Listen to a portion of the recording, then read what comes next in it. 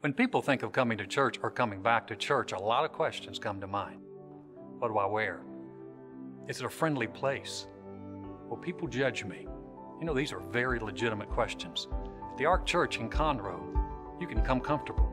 You'll find a very warm welcome. And who are we to judge? At the Ark, you can find something for everyone, whether you come alone or come with a whole family. The Ark Church, you're welcome here.